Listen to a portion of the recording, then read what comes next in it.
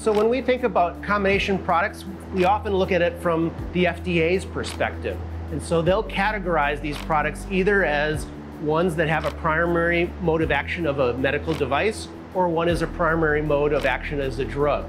So for medical devices, these tend to fall into categories such as things like drug-eluting stents. Stents are things that prop open the, the, the, artery to prevent it from clogging, but they add a drug on there to prevent it from scarring over. Those are sorts of things we can work on. Another one is drug-coated balloons. There are some balloons that are now being designed to expand the sinus cavities for people who suffer from chronic sinusitis. They'll deliver a therapeutic agent on top of that to maintain the patency of those sinus cavities.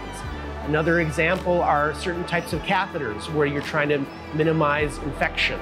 Of catheters that are used to prevent swelling in the brain, and these can be implanted for months or even years. Incorporating antibiotics into these silicone catheters is something we've explored as well.